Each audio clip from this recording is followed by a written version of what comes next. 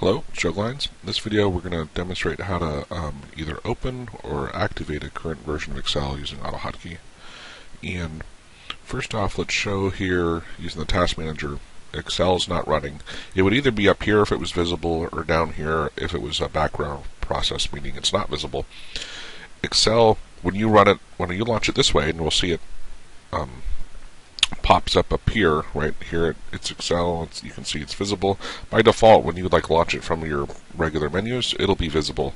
But when you launch it from AutoHotkey, the default is not to be visible. You have to tell it to be visible. And when you do that, it'll be in a background process. So it obviously still running. It's just not doesn't have a, a window that you can actually see. So I'm going to go ahead and close this, and we'll see it disappear from here. Um, so you can, as I mentioned, you can either connect to a current Excel object, or you can um, launch it, right, depending on what you want to do. And if there is no Excel object out there, um, and I run, let me get rid of the try command here. And what this is going to do is, is it's going to say, hey, try to activate this the current Excel application if one exists, and they'll get, I think, the most recent Excel file if there's more than one, um, and, and store a pointer to it here in this Excel file. Um, uh, I'm sorry, variable. And then here I'm saying, hey, is this variable, does it actually contain an object, right? So for me, that's one of the, when I'm troubleshooting and trying to figure out why something's not working, is I make sure, like, you know, my pointer is an object to the thing, because if it's not, nothing is going to work for you. So I'm going to reload and launch this, and look, it says operation unavailable because there is none out there, right? So a simple tweak to, to this is just to say, you know what, instead of just running that, let's say try. And what that'll do is it'll say, try that, but hey, if it doesn't work, it's not going to come up with an error. So I'm going to save this, reload it, and now when I run it, um, it returns a zero, right? And that's saying, hey, this Excel object, it's not a variable. Why is it not a variable? Because back under my task manager, Excel doesn't exist, right?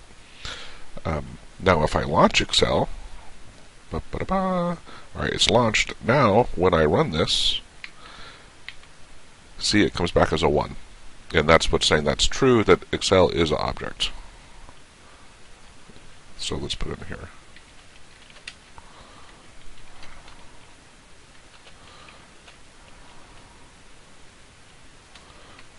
Oops.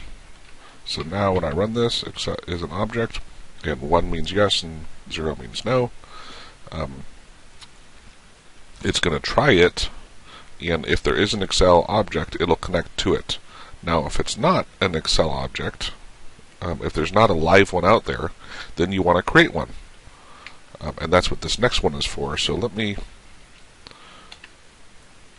get rid of that for now. Try, it's going to try this, and the way the try catch works is you can say catch, um, and now I'm going to put in, I think I can put a print here, and what we're going to want to do is I'll make it visible first and we're going to move that is object down here. So what we're going to do is we're going to try and run this, and since it's on the same line, I don't have to put the parens. Um, and then if if there's an error, if it doesn't exist, I'm going to go create uh, um, an Excel application and store the pointer to it here. Um, and then I'm going to set that thing to being, oh, actually, here I don't. Let me make it visible first. Um, make it visible and and actually, you know what? Let's say message box. Oops. No.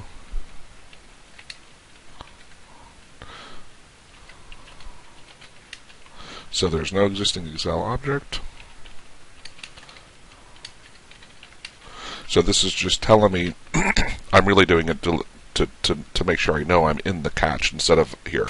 Because if this part works, it's going to skip this catch part and jump right down to here. Um, so when I reload this, good, no errors, I launch it. so because there is a current Excel object, it returns a 1. And it jumped right down to here. Notice it didn't, this message box did not come up, right? Why is that? Because it tried to connect to an Excel application. It actually worked, so it didn't do the catch part and jumped right down to here.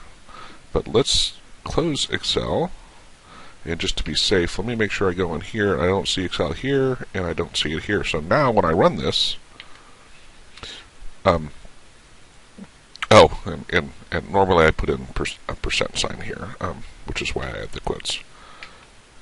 So now it's saying, hey, it, it tried this, because that didn't work, then it goes into this catch part, and, and we're right here, so we haven't actually created the Excel object yet because I put the message box before it. So if we come up in here, you're going to see there is still is no Excel object. But when I hit OK, it went ahead and created the Excel object. Um, and now in here, it, it's still, I made it visible, so it's up here, right? And, and then we finished this last one. Okay, so that worked. Let's, um, let's do one more here.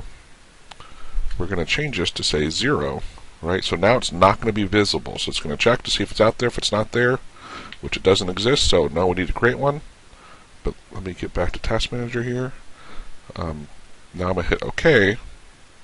So is object, notice there is no Excel, there's nothing over here, but over here, it's down here in this background process.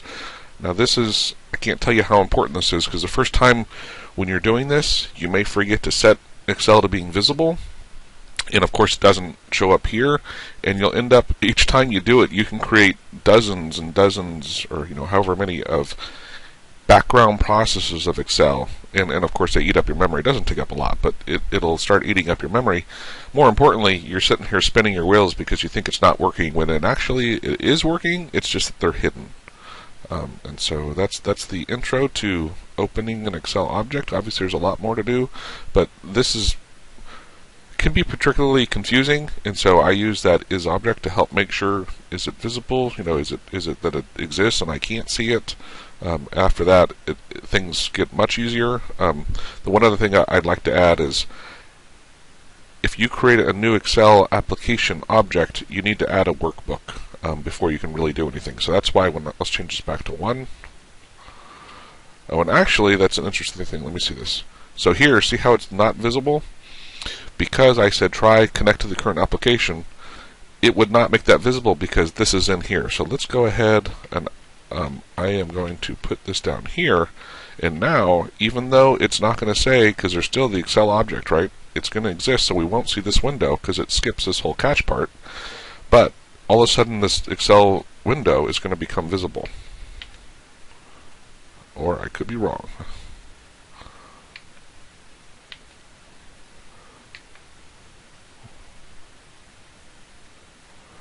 I'm not sure why. Let me see here. Where.